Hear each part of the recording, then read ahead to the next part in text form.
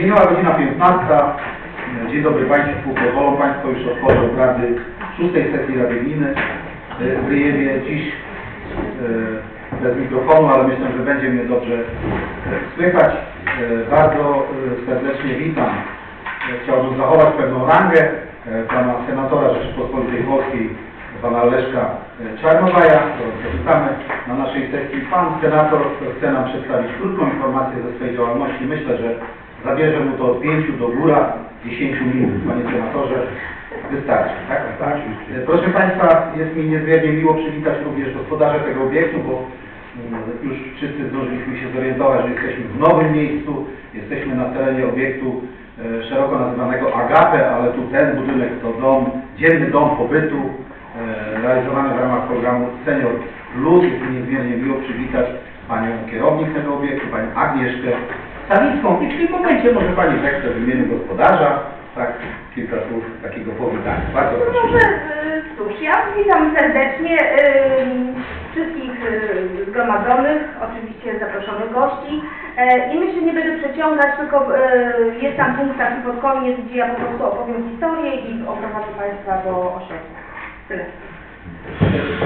Ja w uzupełnieniu tylko dodam, iż powodem, że jesteśmy w tym miejscu jest właśnie to, iż chcemy zobaczyć, bardziej zapoznać się z tym obiektem, e, też o tym programie, z pewnością Pani Kierownik chce e, kilka ważnych rzeczy nam powiedzieć, a więc to będzie w punkcie wolne wnioski, informacje, myślę, że to taki dobry punkt na ten temat.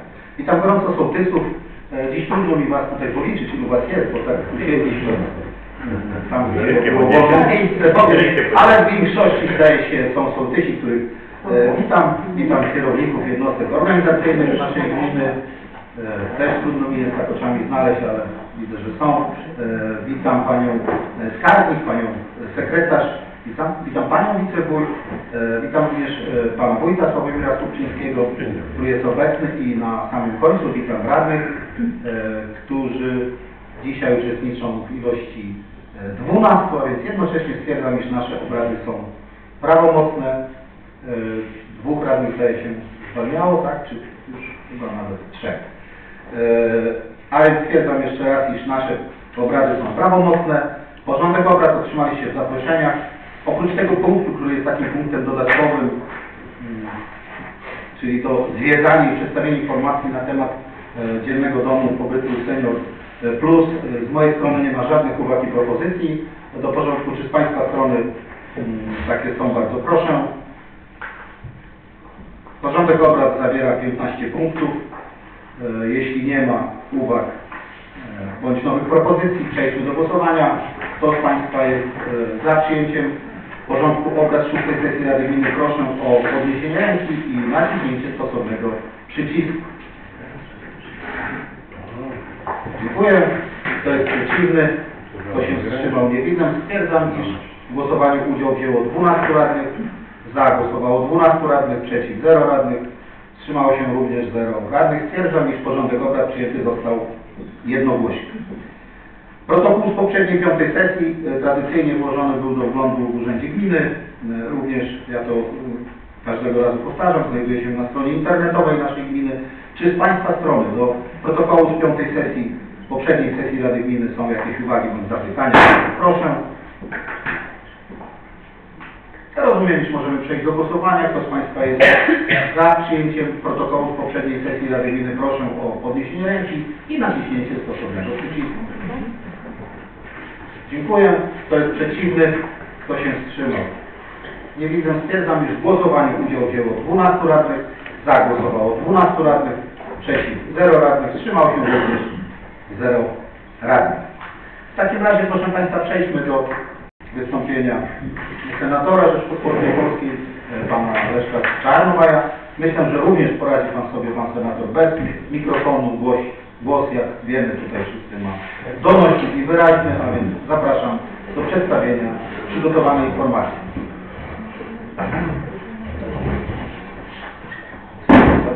Panie Przewodniczący, Wysoka Rado, Panie Wójcie, Szanowni Państwo, ja poprosiłem o to dzisiejsze możliwość spotkania się z Państwem i krótkiej informacji. Ja w poprzedniej kadencji, jak i teraz staram się dwa razy być na sesji każdej gminy z tych czterech powiatach, które zostały wybrane, czyli powiat nowopolski, Małorski, Sztumski i Kwidzyński na początku mojej kadencji byłem u Państwa. No i teraz kilka e, zdań chciałem powiedzieć o mojej pracy w tej kadencji.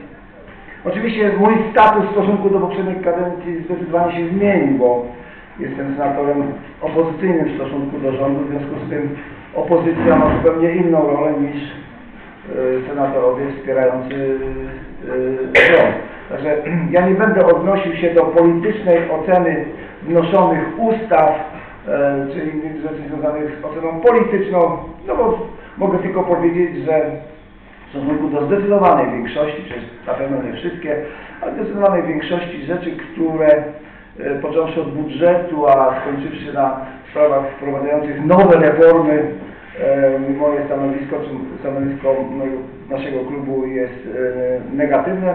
Oczywiście chcę również powiedzieć, że z punktu widzenia statystycznego, ja tylko się odniosę do kilku elementów statystycznych, żeby również pokazać Państwu e, pracę Senatu. To powiem tak, że w stosunku do poprzedniej kadencji, dzisiaj senatorowie Platformy Obywatelskiej więcej poparli ustaw, które wnoszone są przez Prawo i Sprawiedliwość, niż Prawo i Sprawiedliwość poprzedniej kadencji. Czyli to mówienie o naszej totalnej opozycyjności jest w stosunku do działań fundamentalnych. Czyli jeżeli e, osiem razy zmienia się ustawę o Sądzie Najwyższym, no to trudno się zgodzić, jeżeli w ciągu pięciu minut e, wprowadza się ustawę i jeszcze do tego jest sześć opinii, wszystkie negatywne, a mimo to, to jest, e, zostaje ona uchwalona, to jest tak jak wszyscy począwszy od radcy prawnego i wszystkich instytucji wnosiliby zastrzeżenia i negatywną opinię o projekcie uchwały, którą macie Państwo podjąć, a Państwo mówicie, my tu jesteśmy władza, w związku z tym podejmujemy uchwałę, że w Ryjewie na przykład będziemy jeździć ruchem lewostronnym, bo my tak uważamy. To jest tego rodzaju e, projekty ustaw i w stosunku do tego rodzaju projektów ustaw, chociażby jak o e, Sądzie Najwyższym, czy wszystko, co jest związane z sądownictwem, które jest takim przykładem, elementarnym przykładem poprzez ustawę zmieniania konstytucji, co jest w Polsce i w świecie demokratycznym kompletnie e, jakby niedozwolone, czy obce e, państwach demokratycznych. Szanowni Państwo, e, do 31 grudnia odbyło się 70 posiedzeń Senatu, 174 dni i uchwaliliśmy 726 ustaw, do dzisiaj około 780. Mówię to po to, żeby zobrazować, że szczególnie w pierwszych dwóch latach, ja będę odnosił to do poprzedniej kadencji, kiedy mówię, byłem e, w koalicji rządzącej, dzisiaj opozycyjnej, czym się różni.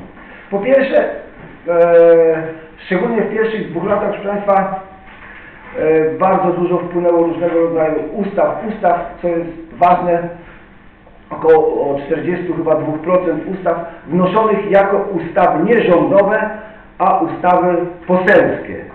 Powoduje to to, że taka ustawa nie musi być konsultowana. Sporadycznie e, w poprzedniej kadencji były ustawy 2, 3, 5 e, przez ciągu całej kadencji, które były ustawami e, poselskimi czy senackimi jako bardzo ważna rzecz, którą trzeba było wdrożyć. Tutaj staje się to pewną, e, pewną zasadą, że rządzący skracając sobie drogę, mówiąc krótko, bez konieczności konsultacji międzyresortowych, przedkładają ustawę jako przedłożenie, e, przedłożenie poselskie i ona wtedy szybką drogą. No takim przykładem, bo to dzisiaj ważny temat w Polsce, e, to były ustawy o, o edukacji. Ustawa, pra- praktycznie dwie ustawy, 600 chyba 36 stron, wpłynęła do nas o godzinie 9 rano, o 11 zajęła się komisja, o 13 Senat, o 3.51 rano zakończyliśmy obrady, w południe Pan Prezydent podpisał. No, no, nigdzie w świecie tak się ustaw e, nie tworzy. Dla porównania podam również to, że kiedy na Wyspach Brytyjskich zmieniano ustawę, coś taką podobną do e, ustawy o Sądzie Najwyższym, e, dopracowano 2,5 roku, e, gdzie politycy pracowali ostatnie pół roku. A dwa lata to były rodzaju konsultacje, seminaria, naukowcy, opinie publiczne. No, czyli coś, co stworzy się pewnym fundamentem, nie należy wprowadzać w nocy, szybko i jeszcze z negatywnymi y, opiniami. Również chcę powiedzieć, co jest w mojej ocenie oczywiście y, złe, a mianowicie chcę podać Państwu, że w pierwszym roku 2016 ukazało się w Polsce 31 200 stron maszynopisu A4 aktów prawnych postaci ustaw i rozporządzeń. ewidentne pierwsze miejsce w Europie, nie wiem czy w świecie, ale na pewno czołówka. Chcę tylko powiedzieć, że wtedy, kiedy wchodziliśmy do Unii Europejskiej, to o 25% było mniej różnego rodzaju rozporządzeń i tworzonego prawa e, niż w roku 2016. To pokazuje, jak rządzący całkowicie wywracają porządek e, prawny na lepszy czy na gorszy, to już pozostawiam e, ocenie państwa. No, mogę tylko jakby z pewną dozą radości powiedzieć to, że w roku 2018 już tylko ukazało się 15 tysięcy aktów prawnych e, A4. E, Najbardziej, to jest, to jest połowę mniej zdecydowanie, w związku z tym to już jest taka ilość, która jest jeszcze do, do stawienia. Mimo to jest to więcej o 10% niż było w poprzedniej kadencji e, w porównywalnym e, okresie trzeciego roku rządów. Ja, ja wyznaję to stanowisko, które mówią Amerykanie. Im mniej prawa, tym lepiej dla obywatela. Im mniej prawa się zmienia, tym lepiej dla obywatela. Im prawo jest trwalsze, dłużej funkcjonuje, tym jest, e, tym jest lepsze.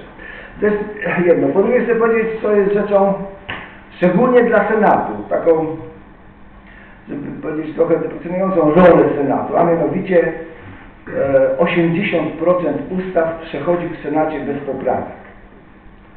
To jest rzecz niespotykana do tej pory. Senat jest po to, żeby był izbą refleksji i zadumy. Często parafrazując to mówię, że to się stał izbą zadum, y, zadymy. Dlatego, że my wnosimy mnóstwo różnego rodzaju poprawek, dyskusji, innych, innych rzeczy. Nie oceniam czy dobrych, czy złych, ale one w ogóle nie, nie są, że tak powiem, brane pod uwagę. Stawiany jest wniosek o e, zamknięcie dyskusji, czego również nie było w poprzednich kadencjach i przyjmowanie ustaw bez poprawek.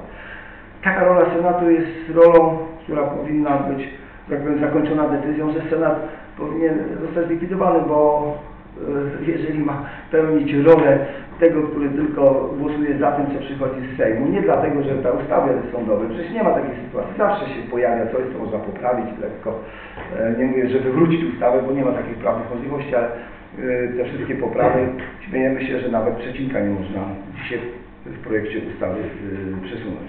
Co jest również ważne, w poprzedniej kadencji uchwalaliśmy rocznie około 20-28 ustaw jako inicjatywy Senatu poprawiające prawo, gdzie Trybunał Konstytucyjny zakwestionował jakiś tam przepis danej ustawie. Jedno y, z punktów był niekonstytucyjny i myśmy to wszystko, y, że tak powiem, y, czyścili, były nasze inicjatywy.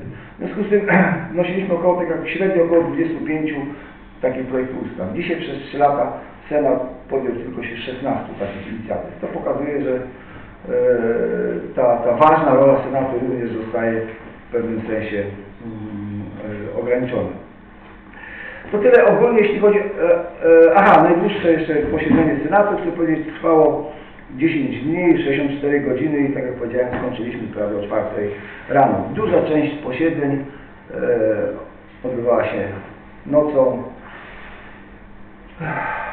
Tak akurat się składało, że y, tak było, nocą kończyliśmy, rano pan prezydent podpisywał jak powiedziałem, y, to nie jest dobre tworzenie prawa, jak już powiedziałem przy Sądzie Najwyższym, e, wszystkie opinie wszystkich środowisk, środowisk prawniczych, ale środowisk naukowych, stowarzyszeń, instytucji, wszystkie były negatywne, a mimo to e, została podjęta, e, podjęta 8 poprawek dotyczących Sądu Najwyższego.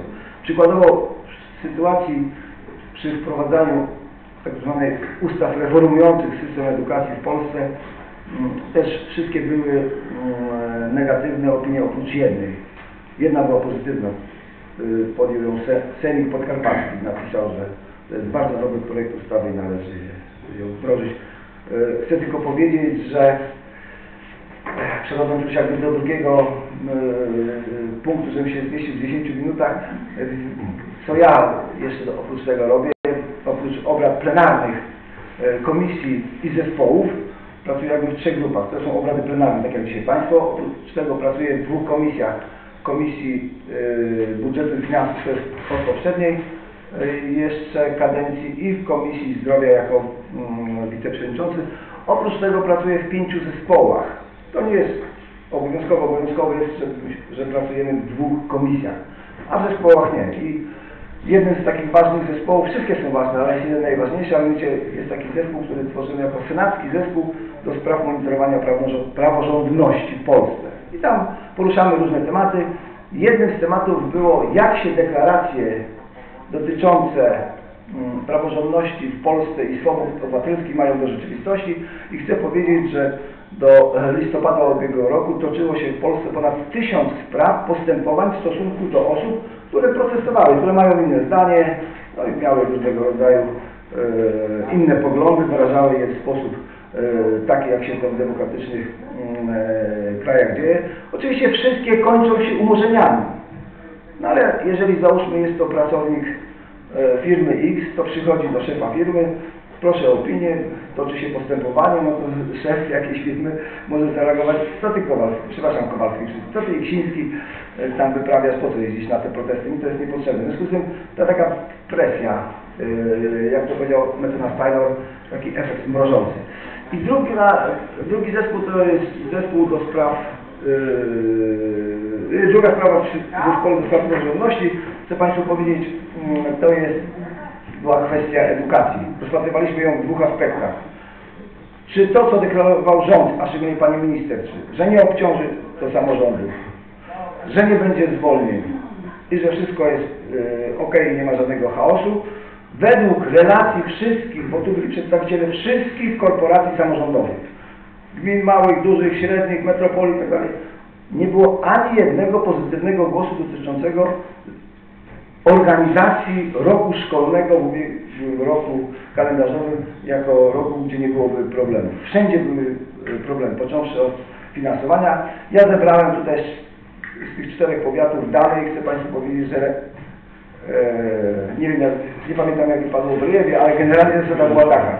Przy złotówce wydatków na dostosowanie do reformy 70% pochodziło z budżetu gminy, 30% e, pochodziło z dotacji rządowej. Nie wiem, jak, nie pamiętam jak było w Ryjewie, ale myślę, że mniej więcej gdzieś w tych, w tych proporcjach się to e, zachowało. Czyli jednym słowem deklaracje, że nic to nie będzie kosztowało, żadnych problemów, e, wszystko sfinansujemy i okazało się y, jak się okazało. Ale co jest jeszcze gorsze? I drugim tematem przy tym, przy edukacji było to, że poprosiliśmy środowiska naukowe i ludzi zarządzających edukacją w sensie akademickim o ocenę programów nauczania. Chcę tylko Państwu powiedzieć, że relacje e, środowisk naukowych były zastraszające, a mianowicie e, encyklopedyzm e, spotęgowany, czyli element odtwórczy, a nie twórczy, mówiąc tak skrótowo. I co jest najważniejsze, nie wiem ile w tym prawdy, ja relacjonuję posiedzenie, że e, w podstawach programowych nauczyciel ma do przerobienia 100 jednostek, a gdyby nie umknęła żadna lekcja, to i tak jest w stanie przerobić tylko 70, generalnie w większości przedmiotów. No ale oczywiście wszyscy piszą, że przerobili 100, no bo co mają? No piszą, władza czeka, to się pisze. W poprzednim systemie kiedyś też tak władza czekała, to ludzie pisali. Y, y, I to powoduje, że uczeń jest y, przeciążony nie tylko w szkole, ale i w domu. W związku z tym ten taki, delikatnie mówiąc, lekki chaos, ale i brak perspektywy jest ważnym elementem. Mam nadzieję, że może y, po tym, co się dzieje, nastąpi jakaś, y, jakaś refleksja. E, Szanowni Państwo, jednym z ważnych elementów dotyczących mm, tego, co się dzieje na forum Senatu e, jako parlamentu jest również to, że właściwie nie było ani jednej ustawy, która rozszerzałaby kompetencje samorządów, a wręcz odwrotnie, podam tylko dwa przykłady. Wojewódzki Fundusz Ochrony Środowiska całkowicie podporządkowany administracji państwowej, czyli nie ma już polityki regionalnej, e, a jest polityka rządowa. Rządzący uznają, że złotówka wydawana przez rząd jest efektywniej wydana niż przez samorządy. Inaczej niż we wszystkich krajach europejskich, gdzie jest następująca zasada. Im więcej wydają samorządy, tym ona jest efektywniejsza. I ustawa znowu o oświacie, no też chyba oprócz Węgier i nas nie ma takiego, takiego kraju, w którym kurator może zakwestionować projekt organizacyjny e, gminy w szkole. No, w większości krajów, nie mówię o skandynawskich, to właściwie samorząd plus nauczyciel i dyrektor decydują o wszystkim. Są ogólne ramy i e, pewne kierunki finansowe państwa, ustanowienie pewnego statusu materialnego również, a cała inicjatywa należy przede wszystkim do nauczyciela, ale i samorządów. Tutaj idzie się w kierunku odwrotnym, a ja tylko przypominam, co w dyskusji przy tych ustawach mówiłem, Pani Minister, że 6 lat temu, bo wtedy to było 5-6 lat temu we Francji odbył się taki kongres, gdzie wszystkie kraje europejskie, w tym również Polska, podpisały taki dokument końcowy, gdzie napisano, że im więcej państwa w edukacji, tym edukacja jest słabsza. I to się ewidentnie sprawdza. Największy spadek jakości edukacji nastąpił w ostatnich latach na Węgrzech. No w Polsce jeszcze nie ma pomiarów, ale myślę, że może być jeszcze gorzej.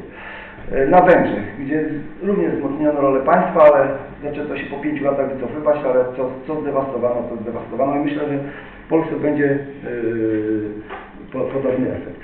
E, Również chcę powiedzieć tylko to, że e, w przeciągu tej, do tej pory tej kadencji powstało 22 nowe instytucje szczebla centralnego.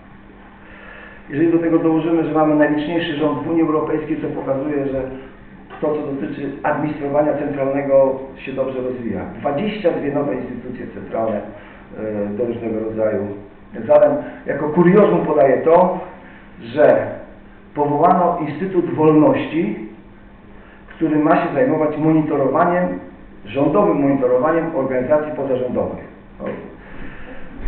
To, to są rzeczy, które pokazują w jakim kierunku e, wiele tych ustaw e, jest realizowanych. E, To się któreś moje spotkanie, zdarzają się pytania, a czy nie było żadnych dobrych ustaw? Tak jak powiedziałem, że myśmy głosowali więcej razy za ustawami wnoszonymi z Prawa i Sprawiedliwości, ale ja osobiście, o, ja osobiście uważam, że te ustawy, które dotyczą, dotyczą mm, całego programu społecznego i socjalnego, uważam, że to jest pewna odwaga, którą Prawo i Sprawiedliwość zaprezentowało i y, to pozwoliło również przesunąć się Polsce i Polakom z przedostatniego miejsca, jeśli chodzi o ilość e, rodzin o bardzo ubogich dochodach na e, wyższe miejsce. To jest ewidentny sukces Prawa i Sprawiedliwości. Drugi, to jest rozpoczęte przez, prawo, przez Platformę Obywatelską e, w czwartym roku mojego funkcjonowania ustawy dotyczące pakietu kontrolnego, e, jeśli chodzi o VAT. Do tego dołożenie nowych elementów i efekt ściągalności VAT-u również jest. Także te dwa elementy na pewno są e, sukcesem Prawa i Sprawiedliwości, jeśli chodzi o, o ustawę.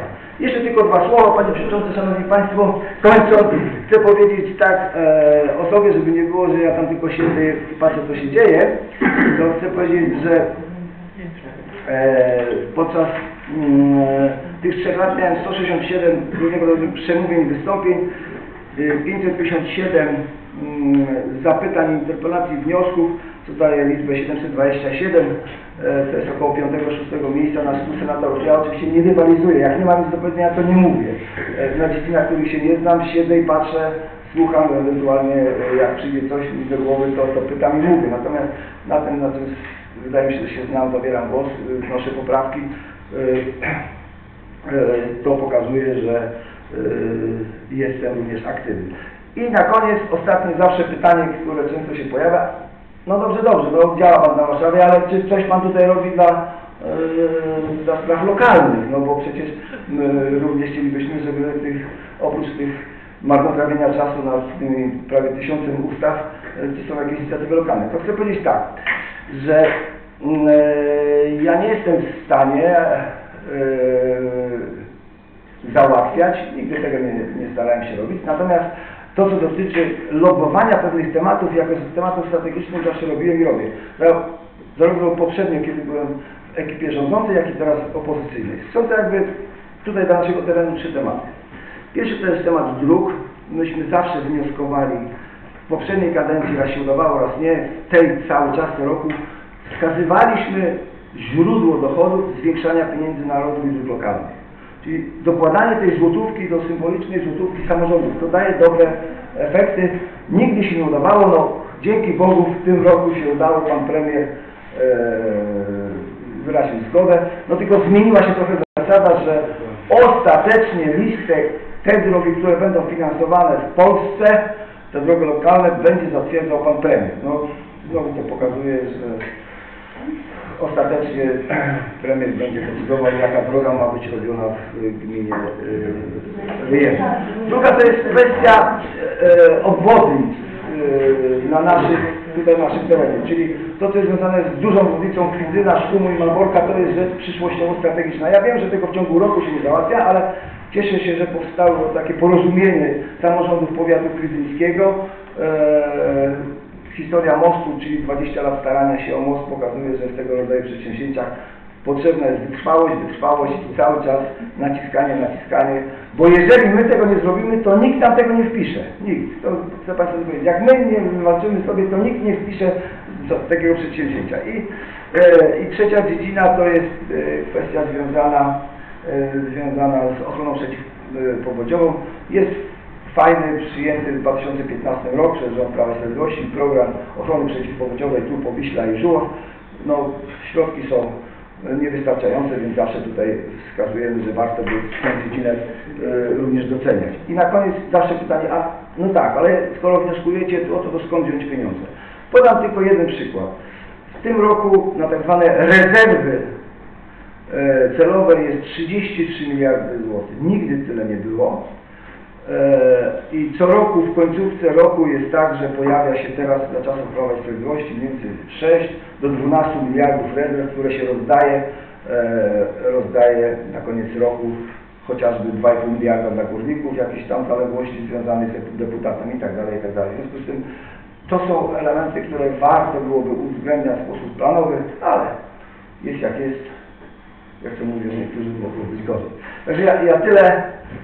Dziękuję bardzo. Zmieściłem się w 9 minutach.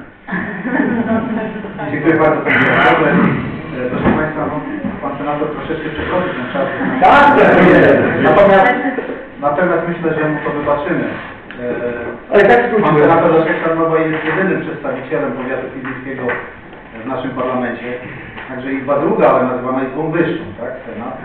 E, Ale jest to, proszę Państwa, władza ustawodawcza, no więc jakby jest naszym przedstawicielem, dlatego Panie Senatorze te kilka minut więcej to zapominamy. Pan marszałek, przepraszam, Ja na na Państwa na- zakończenie kiedyś mówiłem, że parlamentarzyści u nas są rzadziej jak bociany, tak? Bo bocian to chociaż raz w roku przylatuje. Natomiast tu Pan Senator jest chyba trochę e, zaprzeczeniem tego sformułowania, bo jest często nie tylko na takich oficjalnych spotkaniach jak sesja, ale też i na różnego rodzaju innych spotkaniach roboczych też bardzo często i kontakt z Panem Wójtem ma bardzo dobry. Myślę, że to Pan Wójt postara się jeszcze do końca kadencji Pana Senatora wykorzystać. E, Jeśli macie Państwo pytania, bo jak wspominałem, to jedyny przedstawiciel parlamentu w naszym powiecie, bardzo proszę, z pewnością Pan Senator zechce odpowiedzieć, jeśli są jakieś zapytania. Jeśli nie ma, Panie Senatorze, nie zatrzymujemy, bo wiem, że Pan się spieszy Nie, nie, do, do. Tak. Ale jeszcze chwilę sobie odsapnę posłuchać. Dobrze.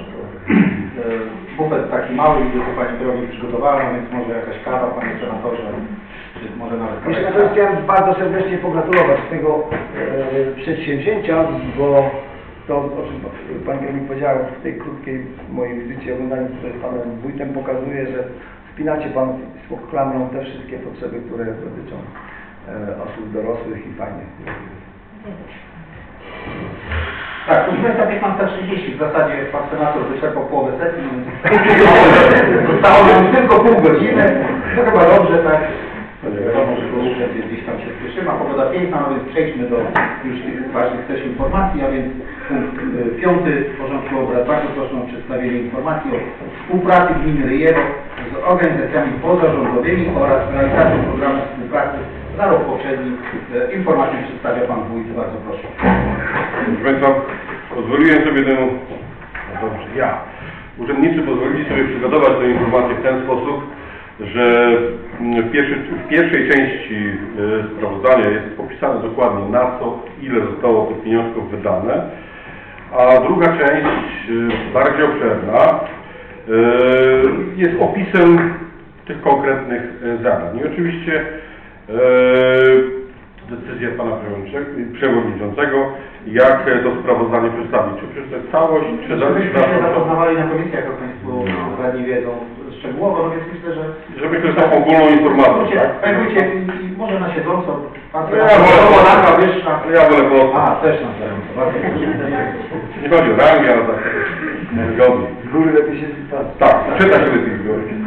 Sprawozdanie z realizacji programu współpracy gminy Ryjewo z organizacjami pozarządowymi oraz podmiotami wymienionymi w artykule 3 ust. 3 ustawy o działalności pożytku publicznego i wolontariacie za rok 2018. Zgodnie z zapisami wyżej przytoczonej e, ustawy wójt gminy zobowiązany jest nie później niż do dnia 31 maja każdego roku przedłożyć Radzie Gminy oraz opublikować w Biuletynie Informacji Publicznej sprawozdanie z realizacji programu współpracy z organizacjami pozarządowymi oraz podmiotami prowadzącymi działalność pożytku publicznego za rok poprzedni.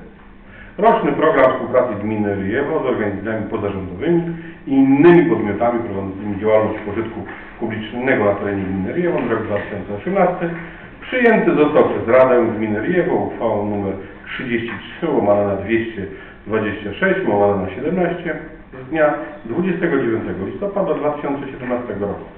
Zgodnie z wymogami ustawowymi projekt uchwały został poddany konsultacjom.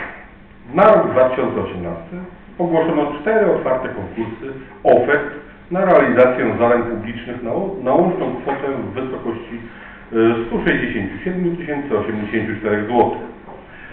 Pierwsze zadanie to zadania z zakresu kultury fizycznej i sportu na kwotę e, 132 100 zł. E, Drugi obszar to zadania z zakresu kultury i ochrony dziedzictwa narodowego na kwotę 27 984 zł. Trzeci obszar to zadania z zakresu kultury i ochrony dziedzictwa narodowego w ramach regrantingu na kwotę 5000 zł. I czwarty obszar to artykuł 19 ustawy z dnia 24 kwietnia 2003 roku o działalności pożytku publicznego i wolontariacie, wspieranie i upowszechnianie kultury fizycznej poprzez organizację imprez sportowych. Tutaj akurat było Rio Cup 2018 i pierwszy halowy turniej piłki nożnej, nożnej pod patronatem Gminy Ryjewo na kwotę 2000. W ramach y, konkursu pierwszego na zadania z zakresu fizyczny, kultury fizycznej i sportu y, przeznaczono dotacje następującym klubom sportowym. Gminnemu Uczniowskiemu Klubowi Sportowemu Bellator kwotę 45 tysięcy złotych. Y, Klubowi Sportowemu Rodło Ściano kwotę 300 zł. Teraz, y, przepraszam, 300 tysięcy. Y, 30 tysięcy złotych. 300 zł nie daliby rady. Strafeckiemu klubowi sportowemu Karmi Strasewo 13 tysięcy. Gminnemu klubowi sportowemu 40 tysięcy. Kwidzyński klub le le lekkoatletyczny Rodło 2100. Stowarzyszenie Pomocy Osobom Niepełnosprawnym Drogowska Serc 2000. W ramach drugiego konkursu na zadania z zakresu kultury i ochrony dziedzictwa narodowego przekazano dotacje następującym organizacjom. Scena lalkowa imienia Jana Wilkowskiego w Kwidzynie, e, Generacje Kreatywne w 2018 roku 12 tysięcy. Stowarzyszenie na Rzecz Bezdomnych Domowictwa Agape 100 lat niepodległości, Trzy Kultury, Jedna Ojczyzna, Rejewo, tak to się ładnie nazywało, e, 3250 zł. Spółdzielnia Socjalna Iskra, Koń, Radość i Szczęście dla każdego 3534 zł. Stowarzyszenie Przyjaciele przy Szkole pod Dębusiem. E, To jest miejsce, znamie, w nim tworzę historię i wzrastam, druga edycja, kwota 9200 zł. W ramach konkursu trzeciego na za- zadania z zakresu kultury i dziedzictwa narodowego e, w formie regrantingu przekazano dotacje dla lokalnej fundacji filantropijnej Projekt, działaj lokalnie, inspirowane, inspirowanie, rozwijanie i wspieranie organizacji pozarządowych w sferze edukacji spraw sportowych, kultury i rozwoju regionalnego w wysokości 5000 zł i w ramach czwartego konkursu w zakresie kultury fizycznej i sportu przekazano dotację dla Gminnego Klubu Sportowego w Ryjewie w wysokości 2000 zł. Nadmienię tylko, że wszystkie przekaza- przekazane dotacje zostały w pełni wykorzystane. Dziękuję bardzo. Mm, Przejrzyste sprawozdanie, czy Państwo macie zapytania, bardzo proszę. Dziękuję Wójcie. W takim razie przejdźmy do punktu szóstego porządku obrad. E, Poproszę o przedstawienie oceny zasobów pomocy społecznej Gminy Ośrodku Pomocy Społecznej w Lijewie w roku 2018 kierownika tegoż ośrodka, pana Adama Męczyńskiego. Bardzo proszę. Pełna ocena zasobów pomocy społecznej to dokument, który zawiera 60 stron i został przesłany na stanowisko do obsługi Rady. e, gminy Zbrojewie. Postaram się przedstawić tylko najważniejsze rzeczy, czyli wprowadzenie, podsumowanie e, tej oceny. Ocena zasobów przygotowywana jest w oparciu o analizę lokalnej sytuacji społecznej i demograficznej. Ośrodek Pomocy Społecznej w Ryjewie, opracowując dane do niniejszego dokumentu, opierał się na danych wynikających ze sprawozdań z udziału świadczeń pomocy społecznej, z zakresu świadczeń rodzinnych oraz funduszu alimentacyjnego, przy, z przyznanych świadczeń wychowawczych, czyli programu 500+, z realizacji programu Pomoc Państwa w zakresie dożywiania, e, z opłacania składek na ubezpieczenie zdrowotne i emerytalno-rentowe, przeciwdziałania przemocy w rodzinie, realizacji ustawy o wspieraniu rodziny oraz dodatków mieszkaniowych. Na terenie e, naszej gminy zamieszkuje 5801 osób. Ośrodek spełnia więc przesłanki ustawy o pomocy społecznej i zatrudnia jednego pracownika socjalnego na 2000 mieszkańców. W Ośrodku Pomocy Społecznej pracuje trzech specjalistów pracy socjalnej, którzy w 2018 roku przeprowa- przeprowadzali wywiady środowiskowe i przyznawali pomoc dla 249 rodzin. Świadczenia rodzinne wraz z funduszem alimentacyjnym obsługuje dwóch inspektorów e, do spraw świadczeń rodzinnych. E, W 2018 roku powyższe świadczenia otrzymało 730 rodzin. Świadczenia wychowawcze, czyli 500+, obsługuje jeden inspektor do spraw świadczeń wychowawczych, który w ubiegłym roku prowadził dokumentację dla 407 rodzin. E, Pomoc tą otrzymało 769 dzieci. Zadania z ustawy o wspieraniu rodziny i systemu pieczy e, zastępczej od stycznia 2012 roku realizuje zatrudniony w ośrodku asystent rodziny, który w ubiegłym roku swoim wsparciem objął 12 rodzin z problemem opiekuńczo-wychowawczym. Oprócz wyżej wymienionych pracowników w ośrodku pracuje również główny księgowy oraz kierownik. Wszyscy pracownicy zatrudnieni w ośrodku posiadają kwalifikacje i wykształcenie niezbędne do wykonywania swoich zadań.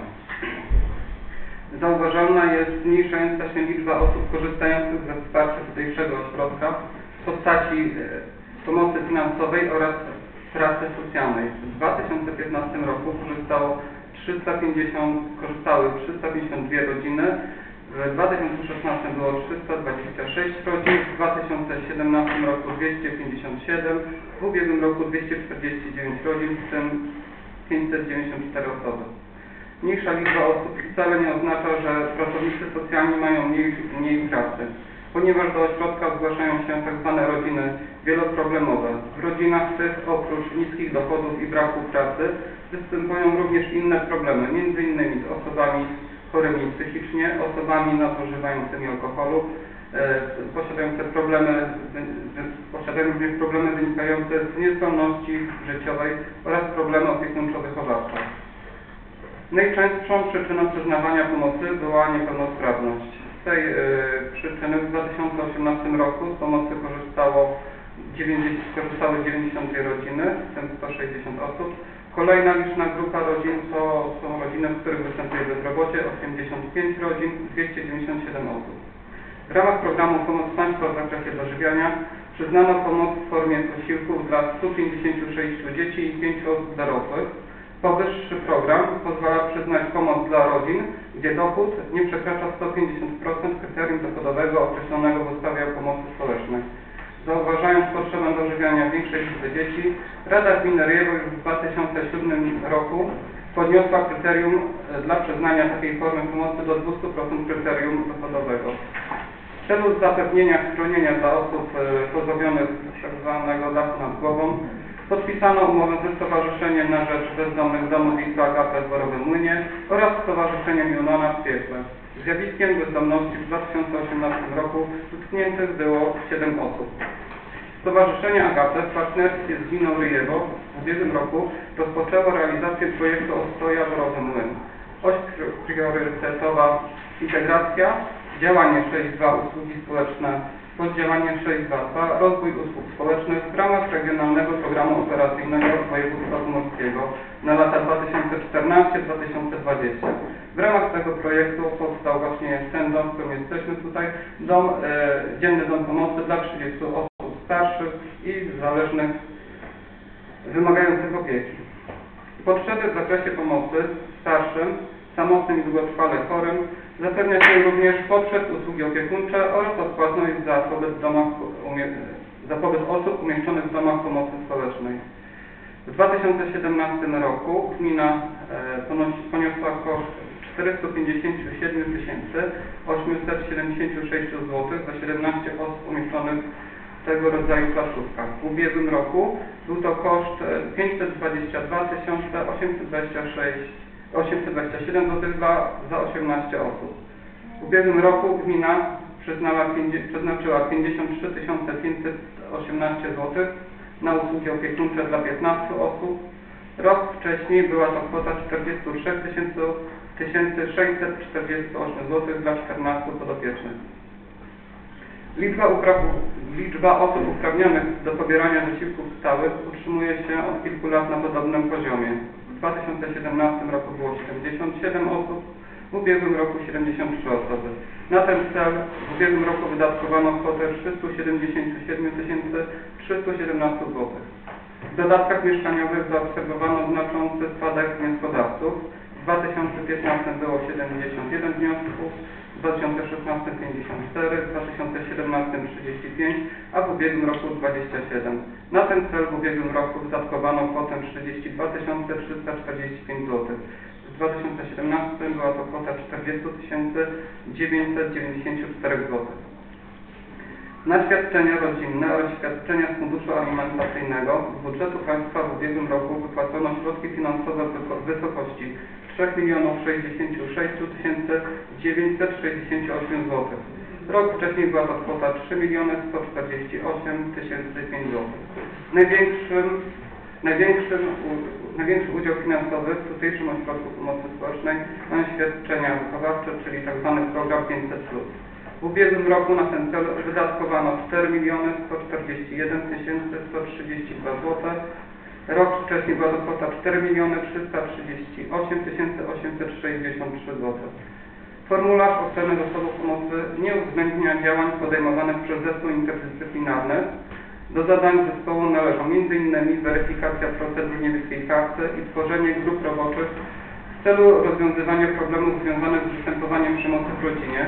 W ubiegłym roku do zespołu wpłynęły trzy niebieskie karty, rok wcześniej było ich 13. Dodatkowo ośrodek bez, e, brał udział w projekcie Wielkanocna Zbiórka Żywności oraz Świąteczna Zbiórka Żywności 2018. Podczas tych dwóch projektów udało się zebrać osiem- 866 kg żywności. Żywność ta przeznaczono dla osób starszych samotnych. Podpisano również umowę z Bankiem Żywności w Tczewie na realizację zadań z zakresu dystrybucji artykułów spożywczych dla osób najbardziej potrzebujących. W ubiegłym roku wydatko, wydano 22 364 kg żywności o łącznej wartości 114 754 zł. W miesiącu grudniu e, ubiegłego roku w Gminnym Ośrodku Pomocy Społecznej w Ryjewie została przeprowadzona kontrola przez Wydział Polityki Społecznej Społecznej Pomorskiego Urzędu Wojewódzkiego w Gdańsku.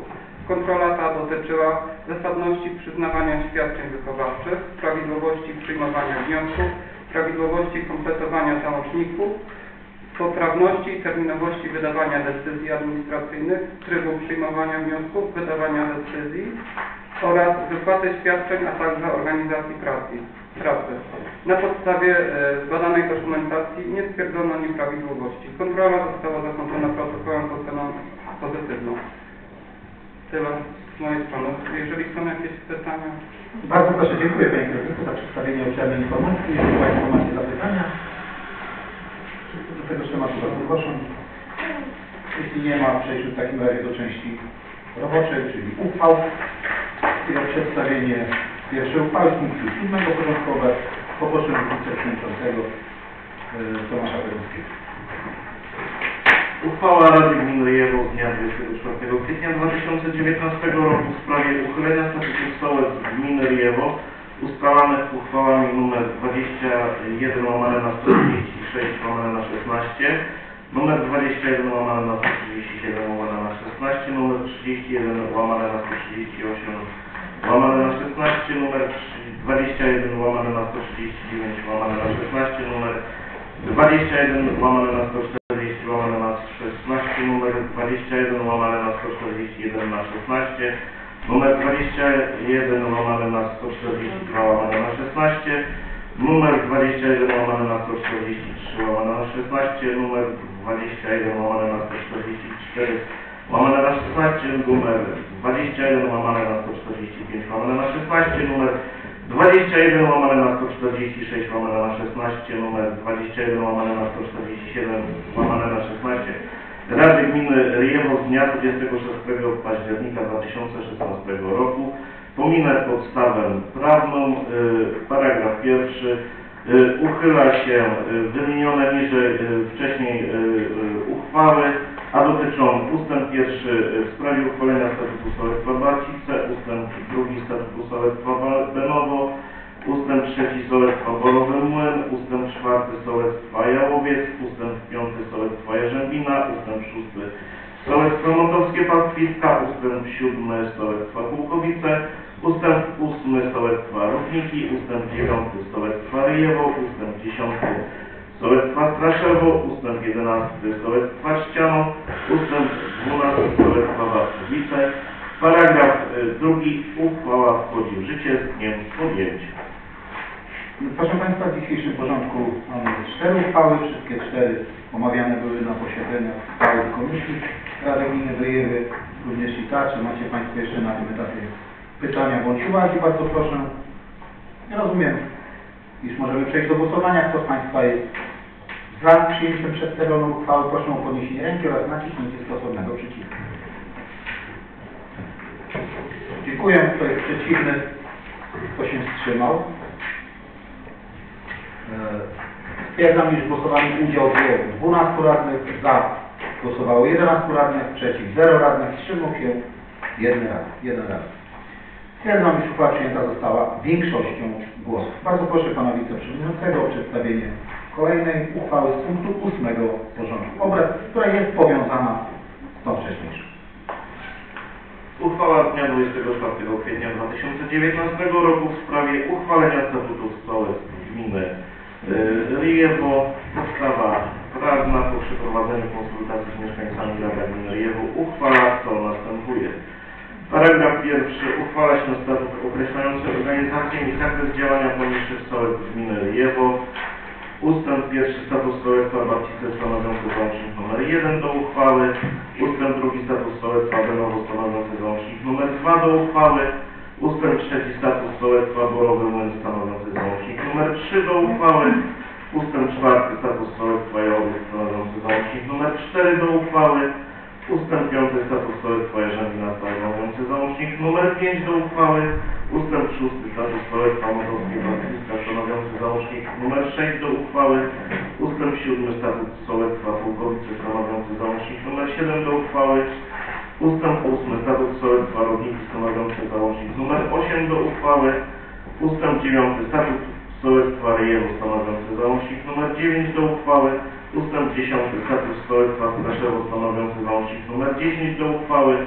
Ustęp 11 status sołectwa Ściano stanowiący załącznik nr 11 do uchwały. I ustęp 12 status sołectwa Warszawskiego stanowiący załącznik nr 12 do uchwały. Paragraf drugi. Uchwała wchodzi w życie po upływie 14 dni od dnia ogłoszenia w Dzienniku Urzędowym Województwa Pomorskiego. Dziękuję bardzo. Czy Państwo macie zapytania bądź uwagi? Przedstawiam uchwałę. W takim razie kto z Państwa jest za przyjęciem przedstawionej uchwały, proszę o podniesienie ręki oraz naciśnięcie stosownego przycisku.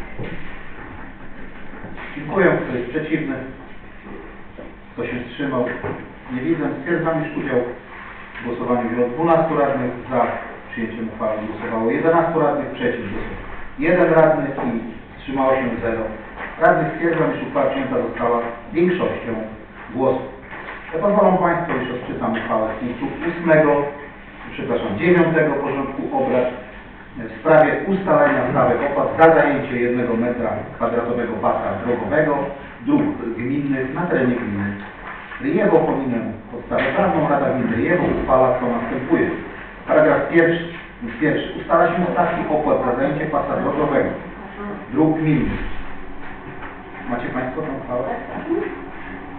Uchwała również była omawiana na wszystkich posiedzeniach, więc wracam do przedstawienia.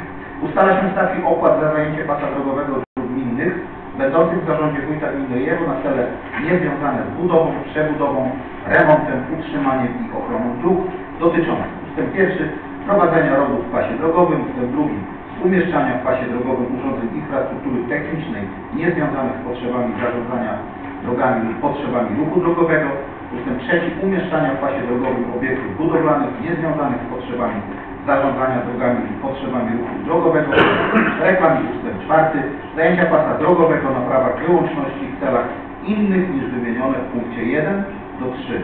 Paragraf drugi. Tu już będą stawki i tak. Pierwszy za zajęcie jednego metra kwadratowego powierzchni pasa drogowego lub innych wymienionych w paragrafie pierwszym ustęp 1 punkt 1 4 ustala się następujące. Stawki opłat za każdy dzień. Zajęcia nie mniej niż 1 metr kwadratowy powierzchni. Pierwszy przy zajęciu całej szerokości jezdni. 9 zł, drugi przy zajęciu do 50% szerokości jezdni. 7 zł, punkt trzeci przy zajęciu chodnika lub ścieżki rowerowej. 4 zł i punkt czwarty przy zajęciu zieleni podróżnej lub pobocza. 2 zł. Drugi stawki określone w ustępie pierwszym punkt pierwszy stosuje się także do chodników, placów zabaw, placów postojowych i autobusowych, ścieżek rowerowych i ciągów pieszych. Y, Ustęp trzeci do elementów pasa dro- drogowego niewymienionych w ustępie pierwszym i drugim ustala się stawkę opłat za każdy dzień zajęcia jednego metra kwadratowego pasa drogowego w wysokości 2 zł. I ustęp czwarty zajęcie pasa drogowego przez czas krótszy niż 24 godziny jest traktowane jak zajęcie pasa drogowego przez jeden dzień. Paragraf trzeci Ustęp pierwszy za zajęcie pasa drogowego, o którym mowa w paragrafie pierwszym, ustęp 1, punkt drugi, ustala się następujące roczne stawki opłat za 1 metr kwadratowy powierzchni pasa drogowego drogi gminnej, zajętego przez rzut poziomy umieszczonego urządzenia. Punkt pierwszy poza obszarem zabudowanym 30 zł, punkt drugi w obszarze zabudowanym 50 zł, punkt trzeci na drogowym obiekcie inżynierskim 100 zł, punkt czwarty przy umieszczaniu urządzeń wodociągowych, kanalizacyjnych oraz sieci gazowych stosuje się stawki w wysokości 25% określone w punktach 1, 2 i 3. Ustęp drugi, roczne stawki opłat w wysokości określonej w ustępie pierwszym ob- obejmują pełen rok kalendarzowy umieszczenia urządzenia w pasie drogowym. I punkt trzeci, za niepełny rok kalendarzowy wysokość rocznych stawek opłat obliczana jest proporcjonalnie do liczby miesięcy, wliczając miesiące niepełne umieszczenia urządzenia w pasie drogowym. Paragraf czwarty, e, ustęp pierwszy, za każdy dzień zajęcia pasa drogowego, o którym mowa w paragrafie pierwszym, ustęp pierwszy, punkt trzeci, ustala się następujące stawki opłat za 1 metr kwadratowy powierzchni. Punkt pierwszy, pasa drogowego zajętego przez rzut poziomy obiektu handlowego lub usłu- usługowego poza terenem zabudowanym 50 groszy, w terenie zabudowanym również 50 groszy. Punkt drugi, pasa drogowego zajętego przez rzut poziomy innych obiektów 50 groszy. Punkt trzeci, pasa drogowego zajętego na wydzielone miejsca parkingowe, tak zwane koperty 50 groszy i punkt czwarty, pasa drogowego zajętego na tymczasowe stoisko handlowe 3 zł. Punkt drugi, za każdy dzień, ustęp drugi, przepraszam, za każdy dzień umieszczenia w pasie drogowym reklamy ustala się stawkę opłaty w wysokości. Punkt pierwszy, za metr kwadratowy powierzchni reklamy jednostronnej złoty 50, za 1 metr kwadratowy powierzchni reklamy dwustronnej 3 zł i e, punkt trzeci, za każdy następny, nawet niepełny metr kwadratowy dodatkowo złoty 50. Paragraf 5, ustęp pierwszy, traci moc uchwała numer 24 łamane na 190 na 05 Rady Gminy Ryjewo dnia 2 lutego 2005 roku w sprawie ustalenia stawek opłat za zajęcie 1 metra kwadratowego pasa drogowego dróg gminnych na terenie gminy Ryjewo. I ustęp drugi do postanowień administracyjnych wszczętych i niezakończonych do dnia wejścia w życie przedmiotowej uchwały zastosowanie mają stawki opłat za zajęcie pasa drogowego obowiązujące dotychczas. Paragraf 6. Wykonanie uchwały powierza się wójtowi gminy Ryjewo i paragraf 7. Uchwała wchodzi w życie po upływie 14 dni od ogłoszenia w Dzienniku Urzędowym Województwa Pomorskiego. Czy Państwo macie zapytania do tej uchwały bądź uwagi? Bardzo proszę. W takim razie przejdźmy do głosowania. Kto z Państwa jest za przyjęciem przedstawionej uchwały, proszę o podniesienie ręki i naciśnięcie stosownego przycisku. Dziękuję. Kto jest przeciwny? Kto się wstrzymał? Nie widzę. Stwierdzam, iż uchwała przyjęta została jednogłośnie. Głosowało 12 radnych za. Przyjęciem głosowało 12 radnych, przeciw 0 radnych i wstrzymało się również 0 radnych. Jest Pani skarbnik, tak? Bo Teraz chciałbym się troszeczkę Panią skarbnik otworzyli. Uaktywnić, tak? Bardzo proszę Panią skarbnik o przedstawienie uchwały z punktu 10 porządku obrad, dotyczy zmian y, y, budżetu. Uchwała Rady Gminy Ryjewo w sprawie zmiany uchwały nr 3 łamane na 22 na 18 Rady Gminy Ryjewo z dnia 19 grudnia 2018 roku w sprawie uchwalenia budżetu gminy na rok 2019. Pomijam podstawę prawną. Gmina, Rada Gminy Ryjewo uchwala co następuje. Paragraf pierwszy. W uchwale nr 3 łamane na 22 na 18 Rady Gminy Ryjewo z dnia 19 grudnia 2018 roku w sprawie uchwalenia budżetu gminy na rok 2019 zwanej w dalszej części paragrafu pierwszego uchwałą wprowadza się następujące zmiany. Ustęp pierwszy. Paragraf ósmy otrzymuje brzmienie. Ustala się limity zobowiązań z tytułu kredytów i pożyczek zaciąganych na Punkt pierwszy. Sfinansowanie przejściowego deficytu budżetu w wysokości 700 tysięcy złotych. Punkt drugi. Sfinansowanie planowanego deficytu budżetu w wysokości 1 937 911 zł. Punkt trzeci. Spłatę wcześniej zaciągniętych zobowiązań z tytułu zaciągniętych pożyczek i kredytów 882 441 zł. Ustęp drugi. W paragrafie dziewiątym upoważnia się wójta gminy do Ustęp pierwszy otrzymuje brzmienie zaciągania kredytów i pożyczek na podpunkt A. Pokrycie występującego w ciągu roku przejściowego deficytu budżetu do wysokości 700 tysięcy złotych. Podpunkt B. Finansowanie planowanego deficytu budżetu w wysokości 1 937 911 złotych. E, Podpunkt C. Spłatę wcześniej zaciągniętych zobowiązań z tytułu zaciągniętych pożyczek i kredytów w wysokości 882 441 zł. Paragraf drugi. Uchwała wchodzi w życie z dniem podjęcia. Dziękuję bardzo. Czy Państwo macie jeszcze na tym etapie pytania do uwagi tego uchwały? Bardzo proszę.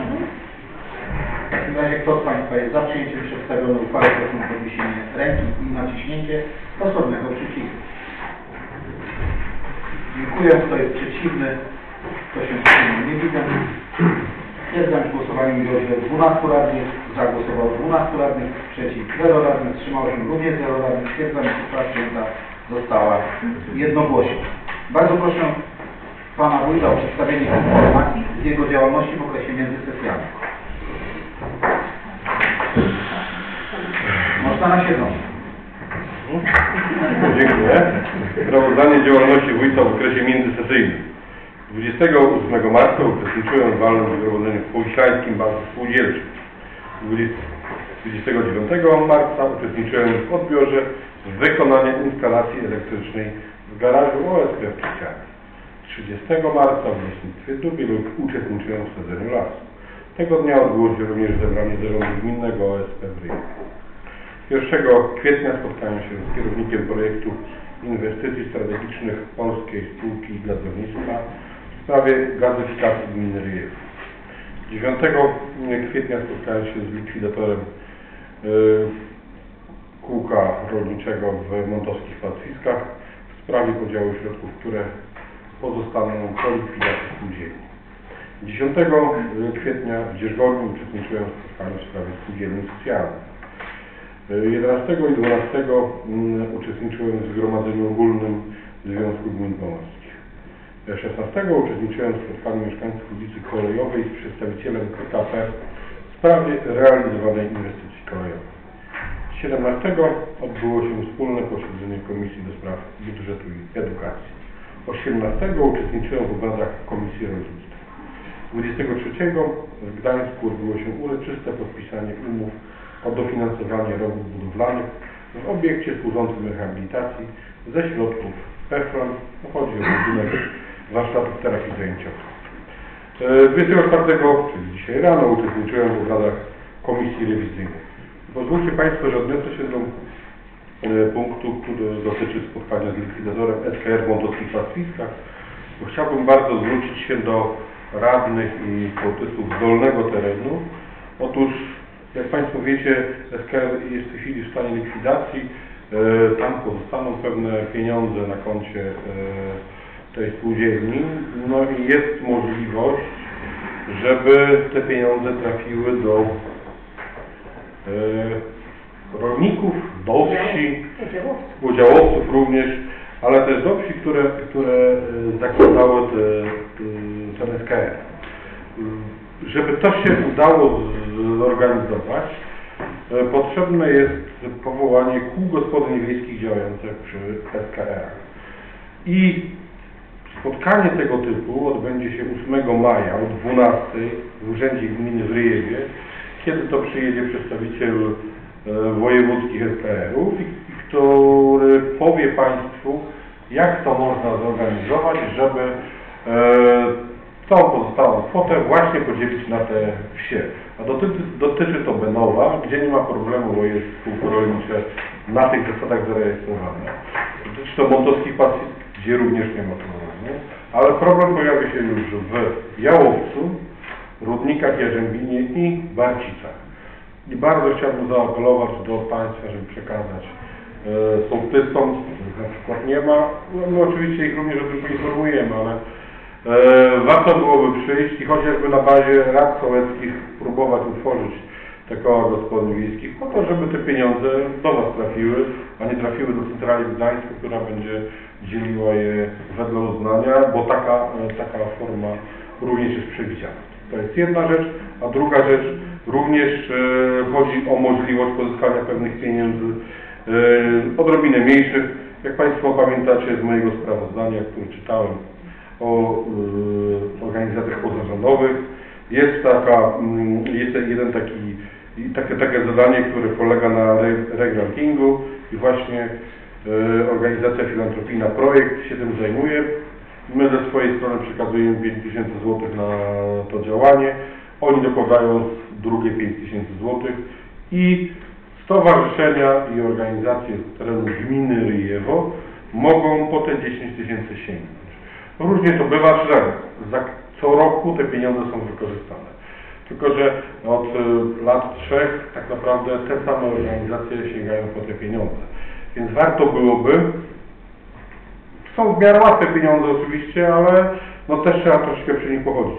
I one są, y, one są od razu y, finansowane, więc nie ma potrzeby zaciągania jakichś tam kredytów i tak dalej, bo wykonuje się zadanie, pieniądze są przelewane. I zapraszam Państwa bardzo serdecznie 6 maja 8 zaprosiłem w sprawie e, SKR. A 6 maja zapraszam wszystkich do biblioteki w Ryjewie na godzinę 16.30. Tam przedstawiciele e, właśnie tego stowarzyszenia opowiedzą na co i jak można e, te pieniądze wydać i może nawet pokażą przykłady jak to działało do tej pory, bo to już jest e, w tych edycji było chyba z 7 i wiele ciekawych projektów zostało zrealizowanych, czasami nawet bez stowarzyszeń. Grupa mieszkańców, pamiętam z jednej, jednej z ulic w e, Prabutach, dzięki tym pieniądzom, e, oczyściła staw, który był śmiet, śmietniskiem, a, a właśnie po ich działaniu stał się fajnym miejscem, takim przyjaznym do, do wypoczynku. Także bardzo serdecznie na te dwa spotkania przypominam jeszcze raz. 6 maja o 13 w bibliotece i 8 maja 30, przy- o 16.30 w bibliotece, tak z góry zgody widać. I 8 maja to już tak dedykowane spotkanie tylko do mieszkańców dolnego terenu, o 12 w urzędzie gminy w Ryjewie. To tyle Panie Przewodniczący, dziękuję. Dziękuję bardzo. Interpelacje i zapytania radnych. Odpowiedzi na interpelacje i zapytania radnych. Proszę. Radną Koszewska.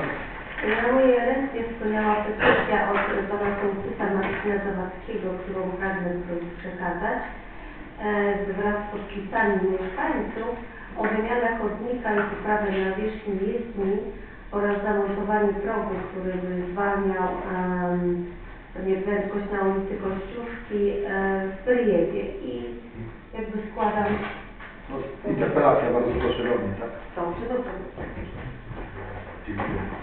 Bardzo proszę. Proszę radna Polak. Tam jest z e, ulicy Grunwaldzkiej, mojego okręgu. O, tam rozjeżdża mi się zjazd z ulicy Grunwaldzkiej na pozycję, to jest numer 11. Tam co prawda są trzy budynki, ale to jest ten trzeci wybudowany budynek. W tym miejscu również prośba o sprowadzenie wody spływającej z ulicy. Co prawda my tam zrobiliśmy po drugiej stronie taką studnię, żeby ta woda spływała, ale mimo wszystko no w tej chwili jest sucho, więc tam tej wody nie ma, ale on się obawia, że jak będzie chciał zagospodarować teren wokół budynku, to może być problem. I on mówi, że jest gotowy powiedzmy na to, żeby tą wodę przeprowadzić przez jego posesję, dalej tam gdzieś na pole, tylko żeby po prostu pomóc mu w odprowadzeniu tej wody z ulicy, z ulicy Grunwaldzkiej. Punkt drugi to jest mm, mrugająca lampa na ulicy Zielnej. To jest ta druga lampa, nie pierwsza, tylko druga lampa tam y, bliżej lasu, że tak powiem. Punkt trzeci, y, prosiłabym o, o sprzątnięcie takiego zaniedbanego pobocza na y, w okolicy ulicy Grunwaldzkiej 21. Tam są, są te skitusy krzewów, między nimi cała masa ściętych gałązek, przy tym są śmieci. Jak się jedzie samochodem, to ktoś tego nie widzi. Jak się jedzie pieszo, to widać po prostu jest tam wielki bałagan. I prosiłabym, jakby to było możliwe, obciąć te, te bo one, one są no po prostu straszne takie. I tam nawet gdyby ktoś upadł, to mógłby sobie zrobić krzywdę. I podobny bałagan jest tam też przy ulicy Grunwaldzkiej y, na przepis numer 25, tam gdzie stoi ten kasztan, y, który, któremu złamał, złamała się jedna ogromna gałąź. Y, Także prosiłabym, bo no zwracają się o to do mieszkańców. Ja bardzo proszę. Ja od razu, przepraszam, chciałbym się odnieść. na które można, bardzo proszę. Nie, te wszystkie inne porządkowe to okej, to nie ma problemu, ale chciałbym się odnieść do pierwszego, pierwszego punktu, no bo tutaj dużym nakładem kosztów, naszych zresztą, zrobiliśmy odwodnienie studzienki, która jest naprzeciwko tego pana. Pod drogą wojewódzką 607 jest przeprowadzona rura, która łączy się ze studnią po drugiej stronie i cała woda z woda ze studni jest zbierana. Bo mówił panu Iwańskim. Tak, tak. I tak właśnie, ale tam spływa mimo wszystko, bo ponieważ ten wiatr taki Mhm. pochyły, tam spływa woda i ona powoduje, że osu, osuwają te powiedzmy zabezpieczenia. Mhm. I, I tam właśnie, mimo że przecież najsilniej było robione tam... Oczywiście, tam jest zrobiony osób, na pewno. Był zrobiony i wyglądało całkiem dobrze, a teraz już jest tam nieco rozjeżdżony i on się obawia, że jak zacznie mocno, Dobrze. to ja kontaktuję się z tym panem, bo tak naprawdę, proszę Państwa, raz mu zrobiliśmy ten zjazd, zrobiliśmy odwodnienie, ale wjazd z ulicy Gru- Grubalskiej, czyli z drogi wojewódzkiej na każdą drogę, na, na, na, na, na każdą pose- posesję jest uzgadniany przez właściciela z zarządcą drogi. Pan musi mieć projekt tego wjazdu i na pewno ma. No. I niestety jest to jego obowiązek, y, żeby o ten wjazd dbać. My możemy mu pomóc i pomogliśmy ostatnio, no ale e, on się rozjeżdża nie przez to, że, że woda w nim płynie, tylko przez to, że ktoś z niego korzysta. Może za, za duży tonaż. Ja po prostu spotkam się z panem i sobie o tym porozmawiamy, dobra? On nawet mówił, Bo- że dzisiaj to dzisiaj to może być problem, ale jutro zapraszam do rozmowy. A może po pół. Dziękuję bardzo. Bardzo proszę, czy jeszcze Państwo radni macie e, sołtysi? Może też chcieliby? Ja Oczywiście otwieram już wolne wnioski informacje. Bardzo proszę. Ja tu mam właśnie pytanko o godzinie e, 8 maja, o godzinie 12 ma być zebranie. Gdzie te zebranie ma być? W y, Urzędzie Gminy w Ryjewie. Aha, w gminie. Tak. A 6? W bibliotece w Dobrze, dziękuję. Tetry. Bardzo proszę, wolne wnioski informacje jeszcze, jeśli macie. Przypominam jutro o dziewiątej. Zapraszam jeszcze raz na Tak. stronę.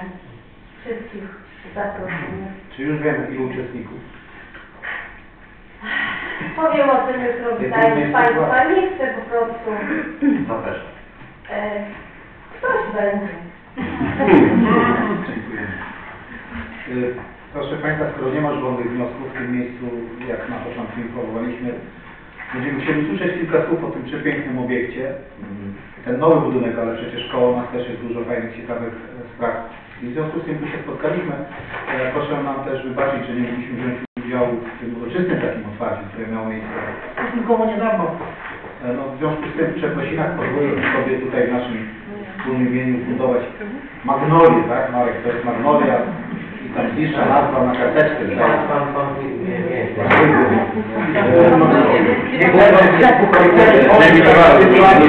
że to popatrzą pan wójcie nie skopywał, to, to państwo ma się zdecydować, że ona najlepiej będzie Ale łopata jest przygotowana. Bo jak będzie dużo, to pan ją popływa, więc łopatę jak przygotowana. Proszę Państwa, no więc tak, yy, wyczerpaliśmy wszystkie tematy. Ja pozwolę sobie zakończyć obrady szóstej sesji Rady Gminy w Wyjewie. Dziękuję Państwu za przybycie. A Panią kierownik yy, Agnieszkę Szewską proszę o kilka słów wstępu i takie myślę jakieś pewno krótkie zwiedzanie obiektu.